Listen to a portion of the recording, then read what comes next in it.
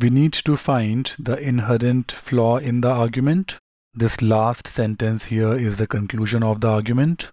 See, the premise here mentions that higher education leads to a drop in birth rate. But this does not mean that higher education is the only factor that leads to a decline in birth rates. There may be other factors.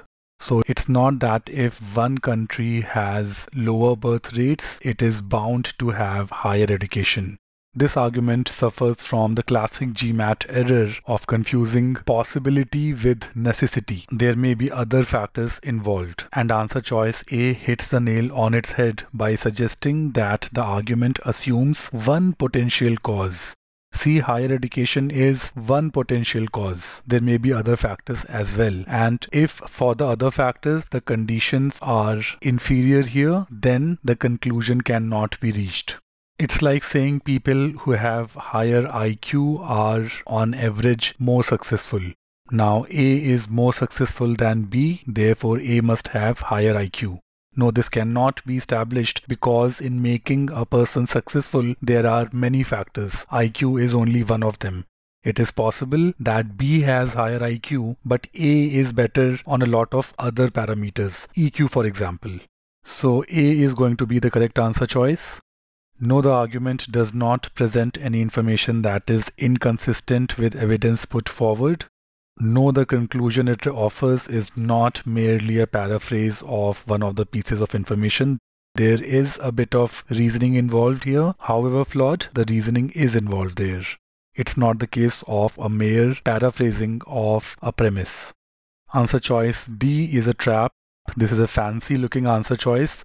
Sometimes such complicated sounding answer choices are the most difficult to handle because it's difficult to process what is going on. It's not a matter of before or after. No chronology has been mentioned in the argument. The argument simply talks about the correlation. It doesn't talk about a before after phenomenon. The argument does not make any distinction and it does not assume the truth of the conclusion that it is trying to establish. That would be the case of circular reasoning. There is no circular reasoning involved here. It is the problem of confusing a possibility with a necessity. The problem of confusing one condition with the only condition. A is the correct answer choice here. In case you selected any other answer choice, the bigger question that you need to answer is why did you eliminate answer choice A? Selecting one of the other answer choices is understandable because some of the answer choices are very complex and you may not be able to process them properly. Remember, in all of the verbal section, it is not about selecting one answer choice, it is about eliminating four answer choices. An answer choice that you cannot eliminate is the correct answer choice. Choice A is so good it cannot be eliminated and if you chose any of the other four answer choices you were probably caught in the vocabulary which is understandable but you should never eliminate the correct answer choice without proper reasoning.